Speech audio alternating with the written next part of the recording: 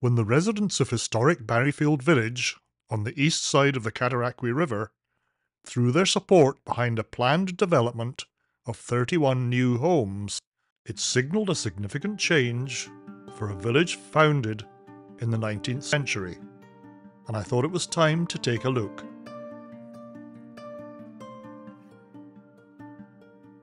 The new homes will occupy the site of the former J.E. Horton Public School, which was demolished in 2016.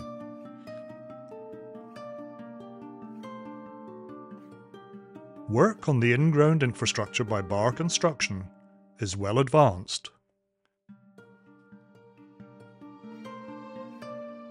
It's also very clear from these images that work to prepare the traffic circuit that will serve the new homes is at a very advanced stage. This is of considerable help as construction of the houses begins. As we look south over the site towards the lake, it appears very likely that the utilities for each of the homes are already in place. This phase of work is equipment intensive, as you can clearly see.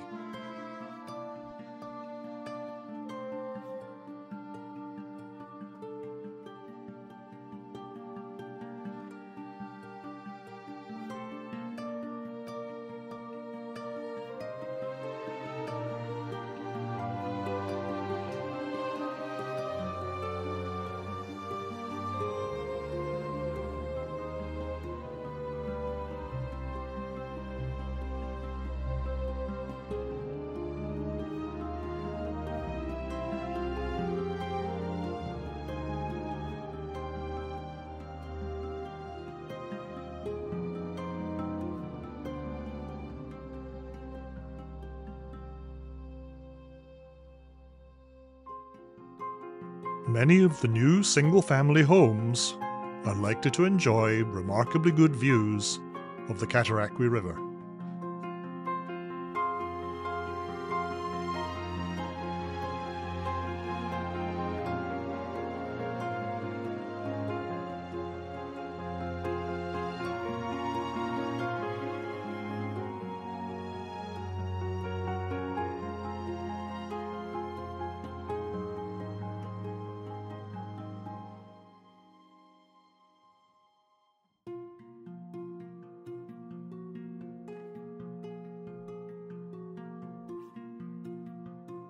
There remains, clearly, quite a bit of work to be done before the houses can be built.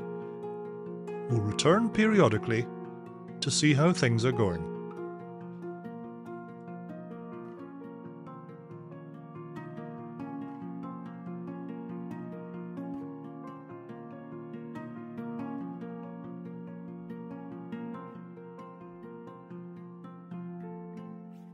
If the location looks attractive to you, I'll leave a link in the description to the project page.